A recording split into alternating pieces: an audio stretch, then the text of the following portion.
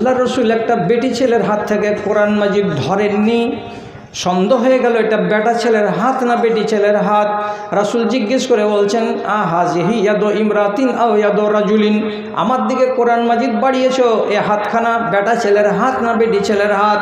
আড়াল থেকে জবাব এলো, এটা বেটি ছেলের হাত আল্লাহর রসুল। তখন রসুল বললেন, তোমার হাত থেকে কোরআন মাজিদ নেব না কেন যে তোমার হাতে যদি আমার হাত লেগে যায়, টাচ হয়ে যায়, আমি এটা ভালোবাসি না। আজনাবি বেটি ছেলের গায়ে আমার গা লেগে যাক। এই জন্য রসুল ফিরিয়ে দিলেন, দেওয়ার পরে মেয়েটিকে বলছেন, ও মেয়ে ছেলে, তোমার হাতখানা বেটা ছেলের হাতের মতো কেন হয়ে আছে? এ হাতখানাকে মেয়ে ছেলের হাত বানাও, কি করতে হবে? রসুল তখন তাকে বলছেন গাইয়ের রুহ বিল হানায়ে মেহেন্দি দিয়ে তোমার হাতের আঙুলগুলোকে লাল লাল করে করে রাখো, যাতে তোমাকে বুঝতে পারা যায় যে একটা মেয়ে ছেলে। আর বেটা ছেলের জন্য রং নয়, খালি হাত থাকতে গেলে বুঝতে হবে এটা বেটা ছেলের হাত। এই জন্য হাদিস প্রমাণ করে বলছে, মেয়েরা রং ব্যবহার করতে পাবে। করো। লাল লাল ঠোঁট আর অ্যান্ড লাভলি লাগা, থুসথুসা গাল করে চিকচিকা করে ন্যাশনাল হাইওয়ের মতন করে রেখেছো। আর মুখ দেখতে গেলে মনে হবে না যে এটা ছিচল্লিশ বছরের মেয়ে লোক, দেখে মনে হবে বাইশ বছরের টনটনে যুবতী। খুব সাজো, চোখে সুরমা দাও, আর সুরমার মাথাখানকে টান দিয়া এদিকে এর মাথার দিক পর্যন্ত টেনে ধরে থাকো, সবই করো, সব করা যায় যাচ্ছে কিন্তু কিন্তু তোমার সুরমা লাগানো চোখ, তোমার লাল লাল ঠোঁট, লিপস্টিক লাগানো ঠোঁট, এগুলো লাগানো যায় আছে বটে, কিন্তু কাকে দেখাতে পাবে? আল্লাহর কসমকে বলছি, এগুলো লাগিয়ে তুমি বাড়ি থেকে বেরিয়ে যাবে, দেখবে কে তো রিক্সাওয়ালা? দেখবে কে তো ভ্যানওয়ালা, দেখবে কে তো হাজি সাহেবের বাড়িতে কাজ করছে, রাজমিস্ত্রি আর ছ ছটা লেবার, দেখবে কে তো দেশবাসী, সবাই দেখবে তোমার লাল লাল ঠোঁট, সবাই দেখবে সুরমা দেওয়া চোখ। আমি বলছি না রে দিদিরা, আমি বলছি না রে বোনেরা, পা মানো, মানতে যদি পারো তো মানো, আর না যদি পারো তো পা দিয়া সানু, আমার করার কিছু নেই। আল্লাহ তালা বলছেন ইল্লা বেটি ছেলেরা হুঁশিয়ার হয়ে যাও, তোমাদের জিনা, তোমাদের সৌন্দর্য, তোমাদের ঠোঁটের লালি, তোমাদের চোখের সুরমা, তোমাদের সুন্দর সুন্দর চেহারা এবং গাল, এগুলো কে কে দেখতে পাবে? আঙুলে গোনো, তোমার স্বামী দেখতে পাবে একটা বেটে ছেলে, তোমার বাপ দেখতে পাবে দুই নম্বর বেটা ছেলে, তোমার শ্বশুর দেখতে পাবে তিন নম্বর বেটা ছেলে, তোমার বেটা দেখতে পাবে চার নম্বর বেটা ছেলে। তোমার ভাই দেখতে পাবে, পাঁচ নম্বর বেটা ছেলে এবং কোনো নাবালক ছেলে যদি আশেপাশে থাকে, তো সেও দেখতে পাবে, ছয় নম্বর ছেলে। আর তোমার বাড়িতে যদি কাজের কোনো চ্যাংড়া থাকে, যে চ্যাংড়াটা এখনও লাইফ কী জিনিস বোঝে না, নাবালক কী জিনিস বোঝে না, বেটি ছেলে কী জিনিস বোঝে না, যৌবন কাকে বলে বুঝে না, সেক্স কাকে বলে বুঝে না, প্রেম কাকে বলে বুঝে না, এমন নির্বোধ ছেলে যদি বাড়িতে থাকে, তাহলে তারা দেখতে পাবে। আর এই সাত প্রকারের মানুষকে বাদ দিয়ে খদার কসম খেয়ে বলছে, দুনিয়ার কোনো একটা মানুষ তোমার লাল লাল ঠোঁট দেখতে পাবে না, তোমার সুরমা দেওয়া চোখ দেখতে পাবে না। যদি আল্লাহর কোরআনকে বুড়ো আঙুল দেখাও, তো তোমাকে দশটা বুড়ো আঙুল দেখাবার জন্য মুনকার নাকির কবরে লাঠি হাতে করে বসে আছে। চ্যালেঞ্জ থেকে গেল, মানো তো, মানো তোমার কল্যাণ হবে। আর না যদি মানো তো আমার ক্ষতি হবে না, তোমার ক্ষতি হবে। কে মানে? কে মানে? ওয়াজ করা। শুনছ যে হ্যাঁ শুনছি। শুনে যাও। মানার প্রশ্ন এখনও আনিও না। হাদিস শোনো। চলে না শরীর। জ্বর ছাড়ছে না দুদিন থেকে? শেষ পর্যন্ত মৌলানা এসাক সাহেবের বয়ান আর মৌলানা আমার পাকুড়ের ভাইয়ের নাম মৌলানা আব্দুল কাইম সাহেবের আকুলি বিকুলি দেখে আমার বাড়িওয়ালি বলছে, মরে যায় তোখান থেকে, অ্যাম্বুলেন্সে তোমাকে পাঠিয়ে দিবে ওরাই, তুমি যাও তো। ডাক্তারের বাড়ি যেয়ে বললাম, রাত বারোটা পর্যন্ত যেন জ্বর না আসে, এমন একটা ইঞ্জেকশন দিত আগামীকাল সকালবেলায় রিপোর্ট আসবে চার রকমের ব্লাড রিপোর্ট এর জন্য আঠারোশোটা টাকা গুনে দিয়েছি। ওয়াজ করার মানসিকতা নেই, আর শরীরটা চলে না। আর আপনাদের এখানকার এত ভালো খানার ভিতরে আড়াইখানায় পাতলা কাগজের রুটি খেয়েছি, এই ইঞ্জিনটা কতটুকু টানতে পারবে? আমি এদিক দিয়ে গোড়াতে বলছি যে আমি অপারগ।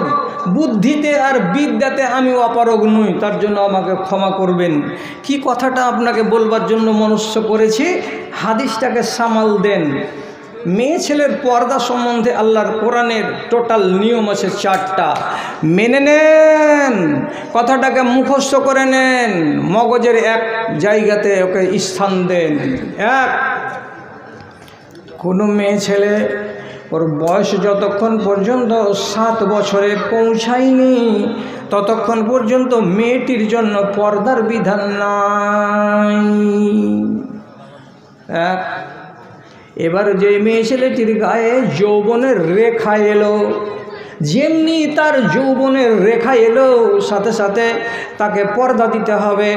এবার যৌবনের সূত্র যখন, সূত্রপাত হচ্ছে তখন থেকে নিয়ে পঁয়তাল্লিশ বছর, পঞ্চাশ বছর পর্যন্ত টাইট করে তাকে পর্দা করতে হবে। এত কড়া পর্দা করতে হবে। যে তার মুখ দেখা যাবে না, তার বুক দেখা যাবে না, তার পেট দেখা যাবে না, তার হাঁটু দেখা যাবে না, তার শরীরের কোনো জায়গা দেখা যাবে না। যদি দেখা যায় তো গোড়ালির নিচের অংশটা দেখা যাবে, আর দেখা যদি যায় তো হাতের তালুগুলো দেখা যাবে। এছাড়া কোনো জায়গা দেখা যাবে না। এত কড়া করে আল্লাহ রব্বুল আলমিন ওই নারীদের বিধান দিলেন। কেন এত কড়া হলো? তার কারণ হলো এই, তোমার গায়ে যৌবন আছে, যৌবনের প্রতি মানুষের টান আছে। তার মানে কি তোমার গায়ে আড়াই হাজার ভোল্টেজের কারেন্ট আছে, তোমাকে যদি মানুষেরা দেখে নেয় তো কারেন্ট লেগে যাবে। আর কারেন্ট যেন না লাগে, তার জন্য ফাইবার চাপিয়ে দিতে হবে। এমনি করে ধরতে গেলে যেমন শর্ট মারবে না কারেন্টে তেমনি পর্দা যদি চাপিয়ে দাও তো মানুষের ইমান নড়বে না। কড়া। তারপরের বিধানটা কি? সুরা আহজাবুল্লাহ তালা বলছেন বল কাওয়ায়দ নিসা ইল্লাতি কাহা ওই বেটি ছেলেগুলো, যে মেয়ে ছেলেগুলোর মাসিক বন্ধ হয়ে গেছে, পেটে বাচ্চা আর আসবে না। কত বছর বয়সে? পঁয়তাল্লিশ, ছিচল্লিশ, সাতচল্লিশ, আটচল্লিশ, এইরকম বয়স হতে গেলে আমাদের দেশের মেয়েদের মাসিক বন্ধ হয়ে যায়। আর মাসিক যদি বন্ধ হয়ে যায় তো তার পেটে আর বাচ্চা আসবে না। জেনে নিতে হবে মেয়েটি বয়স্কা হয়ে গেছে। অতএব এমন বেটি ছেলেকে আল্লাহ তালা কোরআনে বলছেন, কাওয়ায়েদা মানে রিটায়ার বেটি ছেলে কাওয়ায়েদ মানে রিটায়ার অবসরপ্রাপ্ত, এর গায়ে যৌবনের ধার নেই। সুতরাং ওর জন্য আল্লাহ কোরআনে বলছেন, তোমার পিঠ যদি আজনাবি মানুষ দেখে নাই তো গুণা হবে না। তোমার মাথার চুল যদি আজনাবি বেটা ছেলে দেখে নাই তো গুণা হবে না। তোমার হাত যদি কেউ দেখে নেয় তো গুণা হবে না। কেন যে তোমার দিকে দেখতে গেলে কোনো মানুষকে কারেন্ট লাগবে না।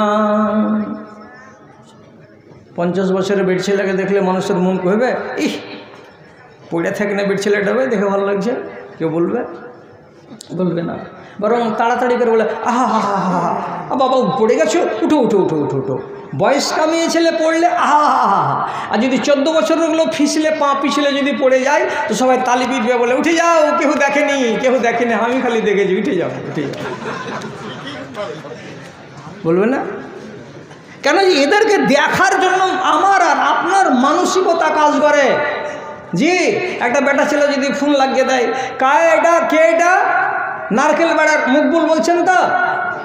যখনই জেনে নিল যে এটা রং নাম্বার তখন এখান থেকে বলছে ধর তোর বাপ বলছি আমি। শালা যেখানে সেখানে ফোন লাগিয়ে দিয়েছে আরে মকবুল না? বলছে, যে মকবুল নাই। ওই আচ্ছা আচ্ছা আচ্ছা রং নাম্বার। তো বেটা ছেলে যখন ফোনে রং নাম্বার হয়ে গেল তখন আপনি তাকে খিস্তি মেরে দিলেন। আর যদি হঠাৎ আর একদিন কেউ ফোন লাগিয়ে দেয় হ্যালো কে? বাবলু? তো বাবলুর তো উচিত ছিল যে এটাও তো রং নাম্বার তো কেটে দিই না না না না বাবলু নয় বাবলু নয়। বাবলুকে এবার বেটি ছেলের সুর যখন কানে যাচ্ছে তখন ওর সারাটা সিনার ভেতরে ঝিনঝিন ঝিনঝিন ঝিনঝিন করে কারেন্ট তৈরি হচ্ছে। যেমনি মিঠা হ্যাঁ বাবলু। তখন এখান থেকে চালবাজি করে বলছে হ্যাঁ হ্যাঁ হ্যাঁ হ্যাঁ বলছি বলছি। কি কি বলছিলা? বলছি, তুমি পৌঁছেছ? হ্যাঁ হ্যাঁ পৌঁছে গেছি আমি পৌঁছে গেছি। তিন চারটা কথা বলার পরে তখন ধরা পড়ছে "আহ, এ তুমি বাবলু নাও নাকি? তো বলছে দিদি আপনি কোথায় লাগিয়েছেন? বলছে আমি তো পলসনটা লাগিয়েছিলাম। বলছে আচ্ছা আচ্ছা এটা তো রতনপুরে গিয়ে লেগে গেছে। কি বলছিলেন? বলছে একটু অসুবিধা ছিল। ঠিক আছে রাখেন। আরে বলেন না যদি অসুবিধাটা আমি এখান থেকে আপনার সারিয়ে দিতে পারি তো তুই কত দরদির বেটা দরদিবা? হ্যাঁ? ওর বাড়ি হলো শিলিগুড়ি। ও লাগিয়েছে আমার নিজের লোককে, বাবলুকে। আর তোমাকে লেগে গেছে তো তুমি চট করে এবার বলছো রং নাম্বার নয়। কেন রং নাম্বার নয়? কথা কেন চলছে? কাছে মজা যা লাগছে এটা কার স্বর? বেটি ছেলের স্বর। তাহলে এর প্রতি টান আছে না বেটা ছেলের? এই জন্য আল্লাহ তালা কোরআনে বলেছেন, খবরদার কোনো বেটি ছেলের সাথে কথা বলবে না, কানে শুনবে না, আওয়াজ, চোখ দিয়ে দেখতে যাবে না, আর তাকে এমনি করে হাত দিয়ে ছুঁয়ে দেখতে যাবে না। যদি এটাকে করে দাও, তাহলে তোমার সিনার ওয়ারিং ঢিল হয়ে যাবে, আর শেষের বেলায় গণ্ডগোল হবে। চারটা বিধান জানা হলো। তিনটা, চার নম্বর বলছি আল্লাহ রবুল আলমী তার নাবিকে দিয়ে বলাচ্ছেন যেগুলো স্বাধীন বেটি ছেলে, ওরা কঠিনভাবে পর্দা করবে।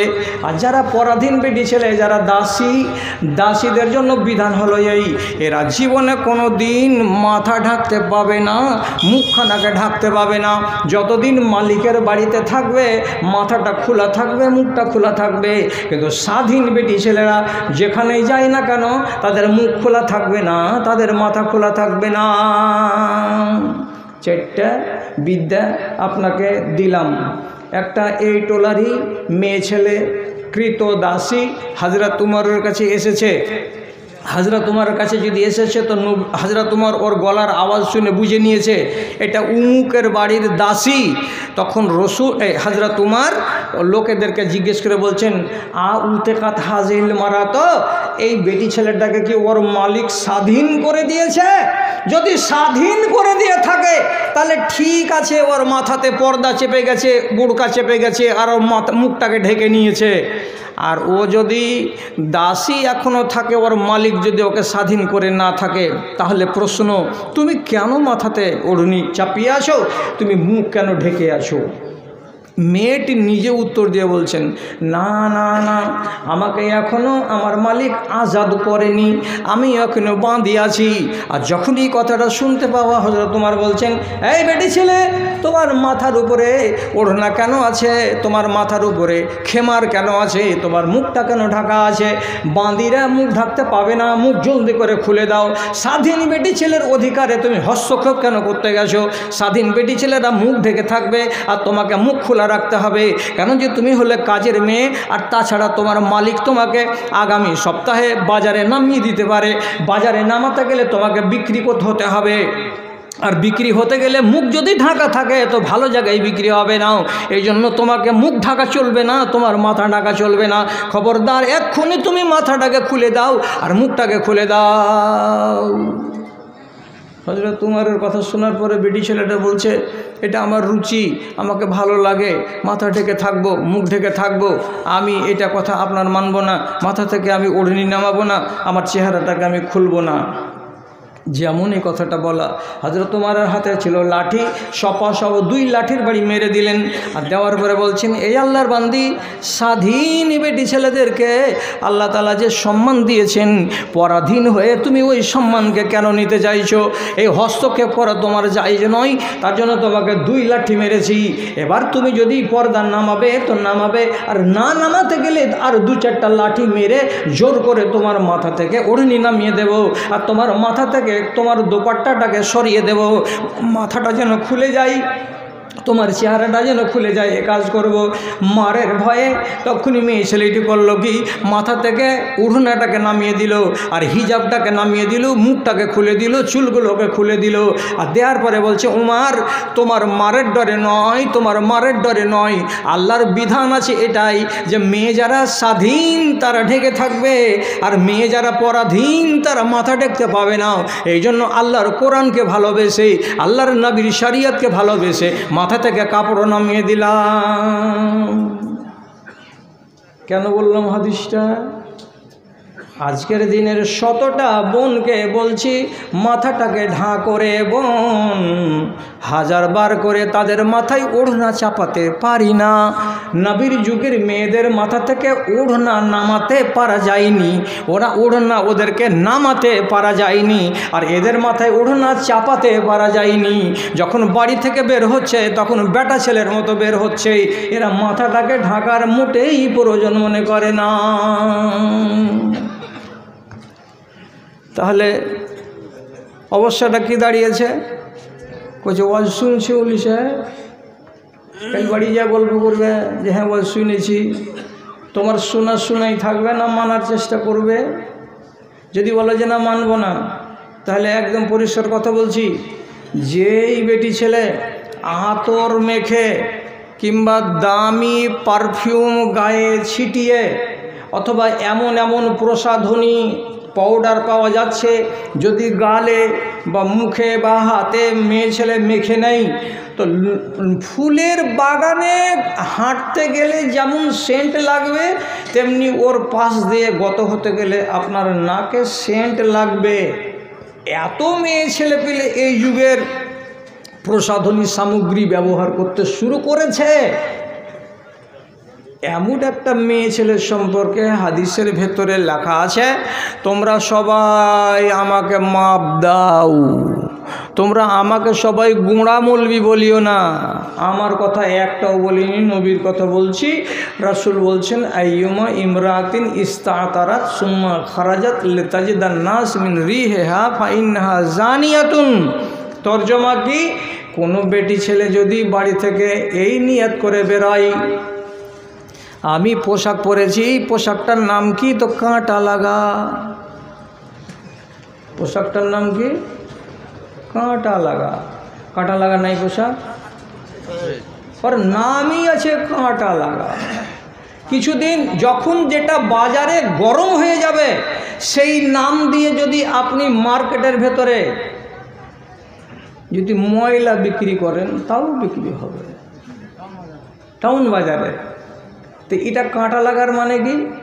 ঝুল আছে ওর ছিচল্লিশ ইঞ্চি। কাপড়টাকে কিনেছে ও আটচল্লিশ ইঞ্চি। দুই ইঞ্চি জমিনে ছেঁচড়াচ্ছে। ওর গলাটা এইখানে হবে একুশ ইঞ্চি, কিন্তু গলাটাকে কাটা আছে সাঁত্রিশ ইঞ্চি।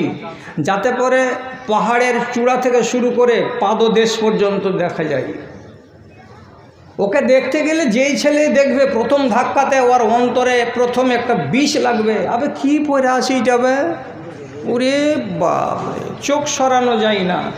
এই জন্য ছেলেদেরকে মনে ধাক্কা লাগে আর মনে ভেতরে ওদের আগুন লাগে, তার জন্য ওই পোশাকটার নামই হয়ে গেছে যে কাঁটা লাগা। এমন পোশাক যদি কোনো মেয়ে ছেলে পরে আর পরে তারপরে বেরোয় আর ওর গা দিয়ে যদি সেন্ট পাওয়া যায় তাহলে রাসুল বলছেন, এমন বেটি ছেলে যদি বাইরে হাঁটে আর মানুষেরা যদি ওর পাশে পাশে চলে আর বলে যে, কত ফাইন আতর ব্যবহার করেছি এই নারী, বলে তাকে ধাওয়া করে, তাহলে রসুল করিম বলছেন, ফাইন নাহা জানিয়াতুন মেয়ে ছেলেটির পরিচয় আর যা হবে হোক, ওটার আসল পরিচয় হলো, ওটা হলো বেশ্যা নারী। ওটা হলো বেশ্যা নারী, ওটা হলো রান্ডি নারী। আর কাজে যারা যারা বেশ্যা হবে, তারা জান্নাতের মুখ দেখতে পাবে না। অতএব যেই নারী একেবারে ওপেন, একেবারে বেহায়া, একেবারে নির্লজ্জ, তাদের ব্যাপারে আল্লাহ রব্বুল আলমিন আমি বলছেন, ফাইন তার জীবনে কোনো দিন জান্নাত যেতে পাবে না। ওয়ালা ইয়াজিদুন নারী হাহা এবং এরা জান্নাতের সেন্ট পর্যন্ত পাবে না। কোন মেয়ে ছেলেগুলো, তাদের কথা কো আল্লাহ তাল্লাহ নবী বলছেন, কাশিয়াতুন, আরিয়াতুন, মুমিলাতুন, মায়েলাতুন, কাপড় পরে আছে কিন্তু কাপড় পরে নাই, কাপড় পরে আছে কিন্তু কাপড় পরে নাই, রাস্তা যখন চলবে তখন হেলে দুলে হেলে দুলে চলবে, তর্জমাটা কী রে দাদাই আমার? কাপড় পরে আছে কিন্তু কাপড় নাই। এর মানে কাপড় যদি এত টাইট হয়, তো আপনাদের দেশে জমি কয় রকমের আছে? এগুলো ডাঙা, এগুলো বাস্তু, এগুলো নামা। নামা মানে ডোবা, ডাঙা মানে উঁচা, এগুলো বাস্তু মানে যেগুলো তো বাড়ি আছে। আল্লাহ রবুল আলমিন মানুষের শরীরে তিন রকমের দাগ বানিয়েছে, তিন রকমের দাগ নম্বর। বগলের জায়গাটা হলো নামা, এটা ডোভা আবার আরও শরীরে আছে, আমি অতগুলো খুলতে যাচ্ছি না। আপনার শরীরে উঁচা আর নিচা, উঁচা আর নিচা আল্লাহ তালা দাগ নম্বর বানিয়েছেন। এমন করে আপনাকে পোশাক পরতে হবে। আপনার দাগ নম্বর যেন বুঝে না যায় যে কোনটা নামা আর কোনটা ডাঙা সব জন্য সমতল মনে হয়। এরকম পোশাক পরতে আল্লাহ রব্বুল আলমিন আদেশ করেছেন কাকে? নরকে এবং নারীকে। আমাদের ছেলেরা, ভাইয়েরা যদি ফুল প্যান্ট পরছে তো এত টাইট এত টাইট এত টাইট। ওকে যদি বলা যায় যে তোকে পাঁচটা টাকা দিচ্ছি, বসে পিসাব করে দেখাতো। বলছি, তোমাকে দশটা টাকা দিচ্ছি, আর ওই কাজ কহিও না। হবে পারবে? পারবে না? ঠিক এইরকমই মেয়ে ছেলে। আরে কয়দিন আগে চলে আসছি আমি এদিকে জালসা করতে, এই ফারাক্কার, এই পাকুড়ের এলাকায়। তো সামনাসামনি সিটে বসে আছি তেমনি হয়ে। এক অসভ্য বেটি ছেলে বসে আছে আমার আগা দিকে তো ওর ঠিক রানের এই সামনখানি ফুল প্যান্ট উদাম হয়ে আছে এখানে। ছিঁড়া, এই জায়গাটা এখানে ছিঁড়া। তো মনে মনে বলছি, সবই তো বুঝছি রে আল্লাহ। কিন্তু মেয়েটাকে জিজ্ঞেস করার বড্ড মন করছে, কিন্তু বুড়া বয়সে যদি জিজ্ঞেস করি, আর কোনো যদি ফেতনা হয়ে যায়? তো কি জিজ্ঞেস করতে বলি সাহেব তুমি মেয়েটাকে? তো আমার জিজ্ঞাসা করার মন ছিল যে হারে বাবা, এই ফাটা গেলা তোমার এই ফুল প্যান্টে কয় জায়গাতে আছে? একটু খড়ে হয়ে দেখাও তো। মানে আর আছে ফাটা না নাই? এটাও কোনো পোশাক? এখন আমার বোনেরা, আমার দিদিরা, আমার দেশের মেয়েরা, এরাও শুরু করে দিল। আচ্ছা এইভাবে যদি একটা মানুষ জিন্দগি কাটায়, তাহলে সেই মানুষটা রাসুলের কথা কেমন করে মানলো? আর এই মানুষটা কেমন করে আল্লাহর কথা মানলো? আর এই লোকটা বলবে যে, আল্লাহ সামে আনা ও আতা আনা তোমার কথা শুনেছি, তোমার কথা মেনেছি, আর মেনে কবরে এসেছি। আল্লাহ, তুমি আমাদের মাপ দাও, আল্লাহ, তুমি আমাদের জান্নাত দাও।